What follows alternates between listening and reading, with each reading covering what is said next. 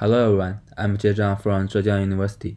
In this video, I will briefly introduce our paper, SmartDS Mid-Tier Centric SmartNIC Enabling Application-Aware Message Split for Disaggregated Block Storage. In modern cloud, mid-tier is an important component of block storage. It bridges the computing service and the storage service in the disaggregated storage. There are over 100,000 mid-tier servers in Alibaba Cloud.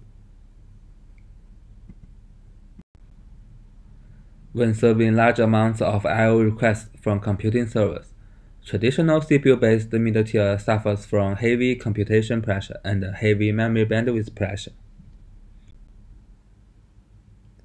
Leveraging SoC-based SmartNIC in mid-tier is not feasible due to the power, form factor, and cost constraints on SoC-based SmartNIC.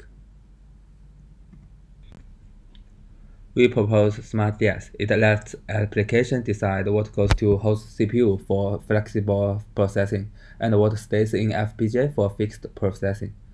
As such, SmartDS can achieve high throughput and low latency while keeping high flexibility and high programmability. Hope to see you at session 6B.